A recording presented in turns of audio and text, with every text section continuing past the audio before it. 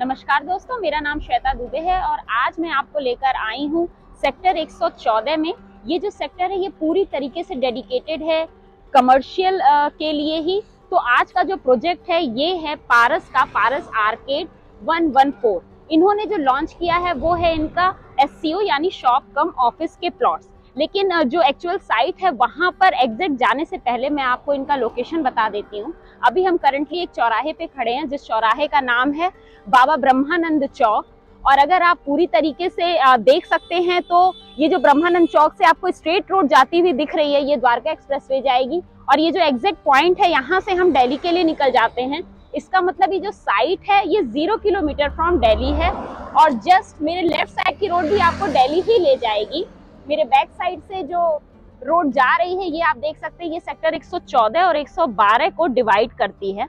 तो ये जो एग्जैक्ट लोकेशन है, ये बहुत ही खूबसूरत लोकेशन है, क्योंकि यहाँ से हम द्वारका एक्सप्रेस वे भी हमें पहुँचने में हार्डली 500 मीटर की दूरी है और जो दिल्ली है, वो तो ज़ीरो किलोमीटर यहाँ से है ही। तो अब मैं आपको ले चलती हूँ इनके एक्चुअल साइट पे, जहाँ पे इनके एस के प्लॉट्स हैं। अब मैं प्रॉपर जहाँ पर खड़ी हूँ, ये इनका एस का जो डेवलपमेंट एरिया है, वो है। इसके जस्ट अपोजिट डायरेक्शन में आपको वी का जो है वो कवर दिख रहा होगा। इससे आपको ये प्रोजेक्ट कैच करने में बहुत होगा।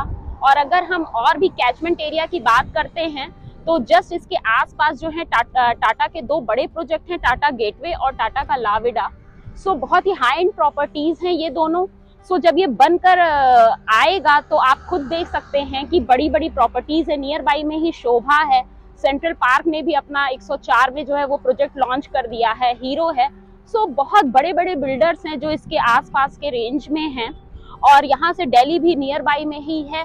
दिल्ली का जो द्वारका पार्ट है वो उतनी तरीके से वहाँ पे इस तरह का कोई कमर्शियल नहीं है। सो so, वो कैचमेंट एरिया भी इस जो है एस डेवलपमेंट को मिलेगा।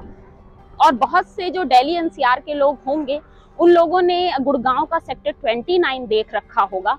बहुत ही अच्छा कमर्शियल है। जैसे मैंने स्टार्टिंग में ही बताया था कि जो सेक्टर 114 है ये पूरी तरीके से कमर्शियल सेक्टर है और ये इस, इस जो पूरे एरिया का डेवलपमेंट होगा ये सेक्टर 29 जो गुड़गांव का है वो एस डेवलपमेंट है बहुत ही सुपर हिट वो डेवलपमेंट हो रखा है जो भी दिल्ली एनसीआर के आसपास रहते हैं वो सेक्टर 29 को बहुत अच्छी तरीके से जानते हैं जैसे वहाँ पे शॉप्स हैं वहाँ पे रेस्टोरेंट्स हैं वहाँ पे पब हैं तो वो अपने आप में एक यूनिक चीज़ है जो दूर दूर से इवन नोएडा और गाजियाबाद के लोग भी जो हैं वहाँ पर आते हैं तो सेम उसी तरीके से इस पूरे एरिया को डेवलप किया जाएगा। इसके आसपास और भी एस के प्लॉट्स हैं जैसे स्पेस ने निकाला है एमआर ने निकाला है एम के शॉप्स हैं। बट उनका जो लैंड पार्सल है वो बहुत बड़ा है। वो ऑलमोस्ट बनकर रेडी हो चुके हैं। सो so, वहाँ का जो पेमेंट होगा वो आपको विद इन अ मंथ और टू मंथ के अंदर ही देना होगा। उनके प्लॉट साइज़ भी बहुत बड़े हैं। और अगर हम बात करें हम पर्टिकुलर जो ये पारस आर्केड 114 में खड़े हैं, इनका जो लैंड पार्सल वो साढ़े तीन एकड़ का है और उनके पास जो प्लॉट के साइज़ हैं, वो एक मतलब सौ स्क्वायर स्क्वायर यार्ड से वो शुरू हो जाते हैं। तो छोटे भी प्लॉट साइज़ के ऑप्शंस हैं और जो एससीओ का फुल फॉर्म होता है, वो होता है शॉप कम ऑफ़िस सो यहाँ पर आपके पास ऑप्शंस हैं कि आप यहाँ पे फ्लोर्स के अकॉर्डिंग जो है बना सकते हैं, किस तरीके से डेवलपमेंट की जाती है। वो सेक्टर 29 की जो साइट है, वो देखकर आप सब लोगों को आइडिया लग ही चुका होगा। और जो एक और बड़ी बात है कि जब भी इस तरीके की कोई चीज़ डेवलप होती है तो वहाँ पे आप हंड्रेड जो परसेंट है मतलब पूरी तरीके से हंड्रेड परसेंट कंस्ट्रक्शन कर सकते हैं। सो so, यहाँ पर आप बेसमेंट बना सकते हैं आप फ्लोर्स बना सकते हैं लेकिन बिल्डर के एक नॉर्म्स होते हैं। इट मीन्स इनका जो आउटर फसाड होगा वो सेम ही रखा जाएगा जो पारस ने बता रखा होगा। और रही बात पारस की तो पारस को डेयरी फॉर्म में भी सब लोग जानते हैं पारस मिल्क बहुत ही मशहूर है। पारस हेल्थ केयर में है इनके बहुत से हॉस्पिटल्स हैं। पारस रियल इस्टेट में है तो ये कई वर्टिकल्स में हैं। सो ये भी बहुत ही अच्छे बिल्डर्स में, अच्छे मतलब बहुत ही अच्छे बिल्डर्स में ये काउंट होते हैं। क्योंकि कई वर्टिकल्स में हैं तो कभी इनको पैसे की प्रॉब्लम नहीं आने वाली है। और, जो और भी चीज़ें हैं कि यहाँ से इन्वेस्टमेंट कितना शुरू होगा तो छोटे जो हैं, वो प्लॉट साइज़ हैं तो इन्वेस्टमेंट अराउंड साढ़े तीन करोड़ से इन्वेस्टमेंट स्टार्ट हो जाएगी। तो ऑप्शन बहुत अच्छा है।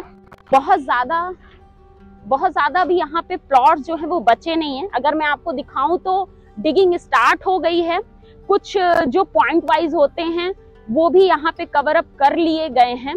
तो अराउंड डेढ़ साल के अंदर अंदर जो है इसका पोजीशन जो है वो हो जाएगा। सो so, बहुत ही अच्छा ऑप्शन है। और अगर इस ऑप्शन में आप जाना चाहते हैं इस छोटे प्लॉट साइज़ में आप जाना चाहते हैं और पारस जैसे बिल्डर के साथ आप जुड़ना चाहते हैं, इतने अच्छे लोकेशन में आप अपना प्लॉट चाहते हैं मतलब एस के प्लॉट चाहते हैं तो नीचे हमारा नंबर आपको दिख रहा होगा। उस नंबर पे आप कॉल कीजिए, हमें कमेंट कीजिए, हमें व्हाट्सअप कीजिए और कुछ और भी एक्स्ट्रा जानकारी जो आप चाहते हैं, वो हम आपको इस प्रोजेक्ट के बारे में एक्स्ट्रा जो जानकारी होगी वो देंगे। तो मिलते हैं हम अपने नए वीडियो के साथ आपसे अगली बार। नमस्कार।